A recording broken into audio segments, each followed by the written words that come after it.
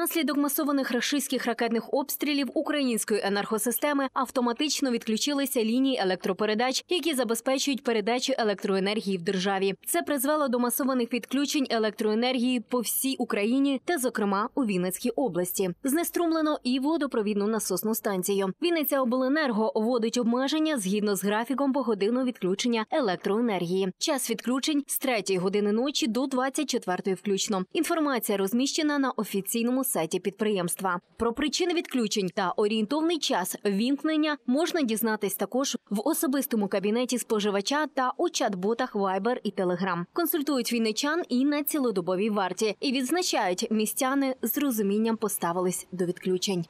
по високовольтній лінії потрібно було спочатку, щоб обласні включили високовольтну лінію, а тоді міські електричні мережі займалися включенням по місту. У Вінниці сьогодні за деякими адресами тимчасово не буде не лише світла, а й подекуди холодної чи гарячої води. Є планові ремонтні роботи, які проводить водоканал. Вчора ми попередили через зовнішній сайт міської ради про те, що буде сьогодні відключення холодного водопостачання. Це в районі привокзальної, Ясна, Щукіна, Дубовецька. Тобто ці вулиці зараз знаходяться без холодного водопостачання в зв'язку з тим, що проводяться планові ремонтні роботи водоканалом. Таких, що відключення електропостачання і відсутнє холодне водопостачання внаслідок цього у нас на даний час немає. Близько сотні крилатих вбивць. Масштабний ракетний обстріл знову сколихнув Україну. Російські терористи завдали чергового спланованого удару по об'єктах енергетичної інфраструктури. В офісі президента зазначили, найбільше влучань зафіксували в центрі та на півночі країни. Рашистські ракети гатили по Київщині, Львівщині, Хмельниччині, Житомирщині, Сумщині. Рівненщині, Кривому Розі, Тернопільщині, Волині, Івано-Франківську і не тільки. Є влучання в об'єкт критичної інфраструктури і на Вінниччині. Про це повідомили в обласній військовій адміністрації. Це ракети Х-101 та Х-555.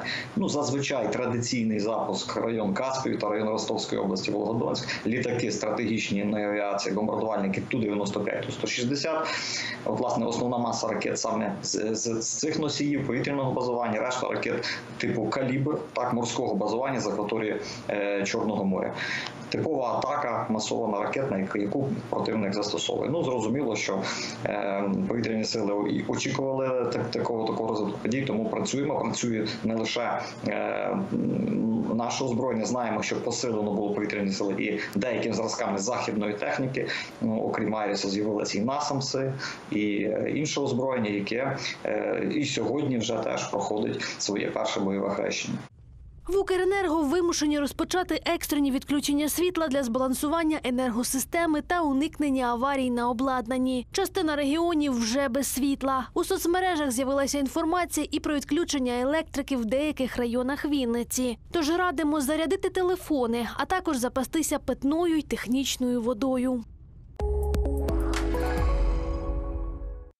Понад 100 тисяч тонн допомоги передав Вінницький гуманітарний хаб в різні куточки України: аптечки, медпрепарати, одяг, термобілизна, ліжка, ковдри, подушки, продукти, військова амуніція. Усе це надходило від благодійників з 16 країн світу у постраждалі громади та в гарячі точки військовим через волонтерів гуманітарного хабу. Його заснував фонд громади Подільська громада. Невтомні вінничани вже 250 днів працюють в режимі непреривного марафону. Нагадаємо, хаб працює в рамках міжрегіонального координаційного гуманітарного штабу. Він об'єднує міжнародні організації, громади та волонтерів з різних куточків України. Штаб очолює прем'єр-міністр України у 2016-2019 роках Володимир Гройсман. Сьогодні хочу для вас провести коротенький урок безпеки та трішки з вами погратися. Цікавістю заходять і розглядають все довкола. Першокласники одного з вінницьких ліцеїв завітали на відкриття класу безпеки. Він функціонує на базі Вінницького районного управління ДСНС. І коли на цю ниточку переїжджає там, міна може що зробити? Підірватися. Але нам треба бути дуже обережними та дуже обачними. Це вже 91-ша профільна кімната у райуправлінні. Її обладнали не лише навчальними макетами небезпечних предметів та корисними стендами, а й справжнім бойовим одягом надзвичайників. Сьогодні е, нам розповідають, як треба е, щоб треба поводитись, щоб не виникла пожежа. У разі небезпеки треба дзвонити в 101. Якщо на вулиці ми бачимо е, незнайомий предмет, треба дзвонити рятувальникам. Крім того, діти разом з рятувальниками грали повчальні ігри, розгадували вікторини та розфарбовували розмальовки. Діти зараз дуже обізнані, вони розуміють це, спілкуються з однолітками, спілкуються з батьками. Це дуже важливо. Такі класи відкриватимуть не лише у закладах освіти, а й на базі підрозділів служби порятунку та в сільських територіальних громадах. В планах е, відкрити на базі кожної пожежної частини Вінницького району такий клас безпеки, щоб е, діти, які відвідували пожежну частину, заодно могли пройти, е, їм могли провести відкриті уроки у цих класах безпеки. Рятувальники констатують, як не розгубитися у надзвичайних ситуаціях, важливо розуміти ще з маличку. Оперативно реагувати на звернення людей, розшукувати злочинців та порушників, а ще відточувати навички в умовах віртуальної реальності. Вінницькі правоохоронці презентували керівникам МВС та Нацполіції України власні інформаційні розробки, зокрема мобільні додатки, через які містяни отримують інформацію. Це регіональний реєстр випадків домашнього насильства.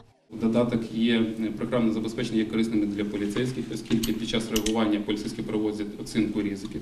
Він дозволяє її проводити в електронному вигляді, при цьому визначати найбільш пріоритетні і проблемні питання, які виникли в родині. Окрім цього, дода- програма працює як на стаціонарних комп'ютерах, так і на мобільних і логістичних пристроях. Це було зроблено задля того, щоб вона могла використовуватися працівниками всіх суб'єктів, які здійснюють реагування факту чинення домашнього насильства саме під час реагування. Серед інноваційних проєктів, створених поліцією Вінничини, першого заступника міністра внутрішніх справ України Євгенія Єніна та голову Національної поліції України Ігоря Клименка зацікавив віртуальний правопорушник порядку. Технології віртуальної доповненої реальності дають можливість це зробити із використанням відповідного програмного забезпечення, тобто навколо людини створити віртуальний світ. Зазвичай це досягається за рахунок використання віртуальних окулярів і відповідних датчиків, які дають можливість е, відчувати торкання, дотики, е, удар. З використанням даного мобільного пристрою воно нам дає можливість побачити віртуального правопорушника. Хто є виробником програмного забезпечення? Ми самі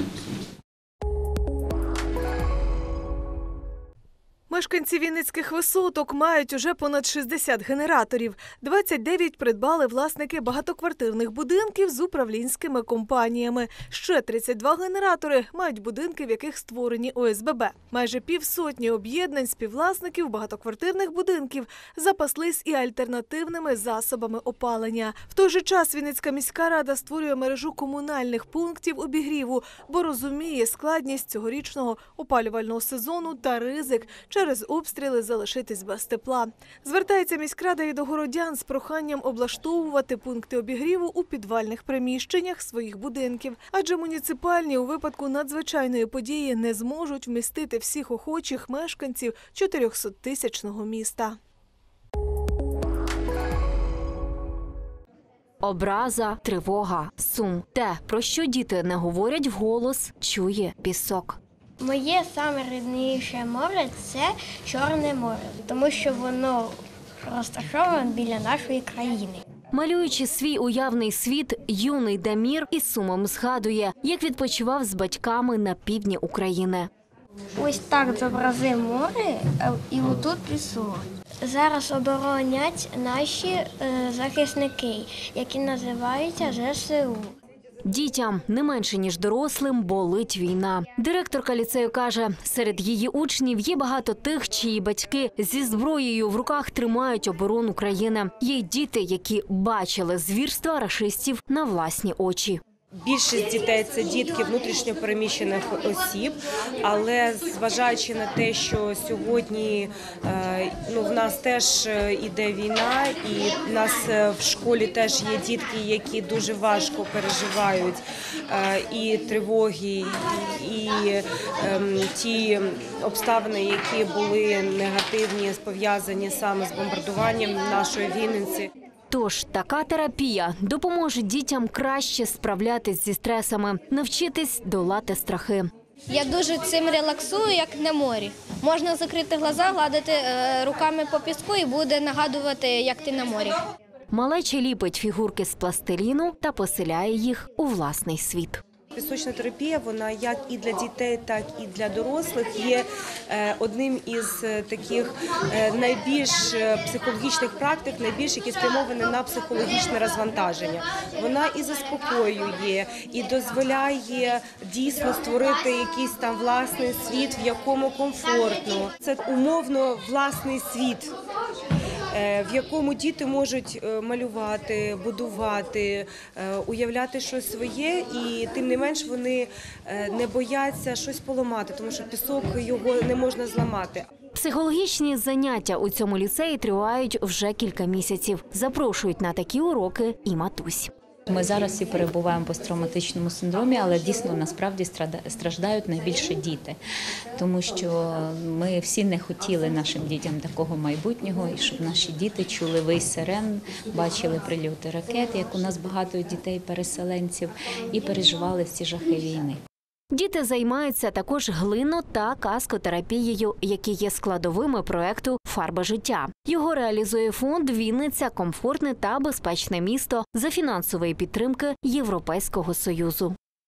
Завдання освіти і е, тих, хто може допомогти нашим дітям, а це психологічні е, служби, благодійні фонди, міжнародні організації, які пропонують таку допомогу, долучити їх для того, щоб працювати з дітьми, е, щоб діти не відчували такого або менш відчували психологічне навантаження, стресову ситуацію. Підтримує вінницьких дітей та підлітків і ЮНІСЕФ. Зокрема, у Вінниці 28 ліцеїв стали учасниками програми Покоління непереможних ЮЕЙ, яке охопило понад три тисячі школярів.